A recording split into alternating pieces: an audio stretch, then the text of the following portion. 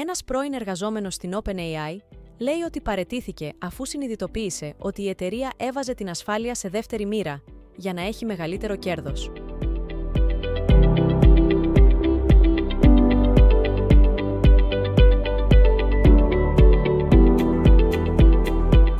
Ο πρώην υπάλληλος William Saunders κατηγόρησε την OpenAI ότι έχει δώσει προτεραιότητα στη διάθεση νεότερων, πιο λαμπερών προϊόντων, όπως ακριβώς η κατασκευάστρια εταιρεία του Τιτανικού, White Star Line, η οποία έβαλε την αισθητική πάνω από την ασφάλεια των επιβατών.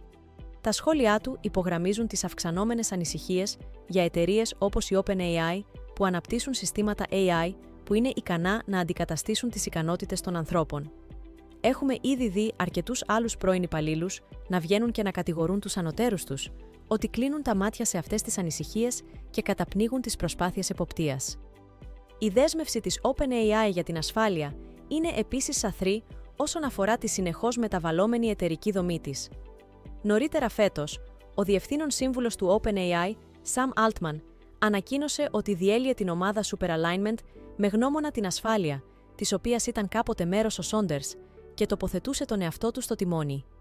Εκείνη την εποχή, η εταιρεία είπε ότι δημιουργούσε μια νέα Επιτροπή Ασφάλειας και Προστασίας.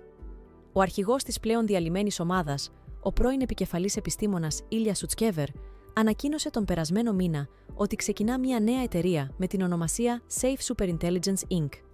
Οι κριτικοί έχουν επισημάνει εδώ και καιρό ότι παρά τον ισχυρισμό της OpenAI ότι προσπαθούσε να υλοποιήσει το AGI με έναν ασφαλή τρόπο, η εταιρεία έπαιξε χαλαρά με τους κανόνες και έδωσε προτεραιότητα στην κυκλοφορία νέων λαμπερών chatbot, σημαντικών κύκλων χρηματοδότησης και συνεργασιών δισεκατομμυρίων δολαρίων με τεχνολογικούς γίγαντες όπως η Microsoft.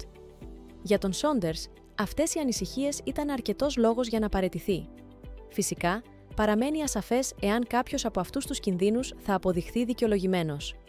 Σε τελική ανάλυση, απέχουμε ακόμα πολύ από μια πραγματική τεχνητή νοημοσύνη που μπορεί να ξεπεράσει έναν άνθρωπο και οι ειδικοί έχουν επισημάνει ότι η τεχνολογία μπορεί να μην οδηγήσει πουθενά.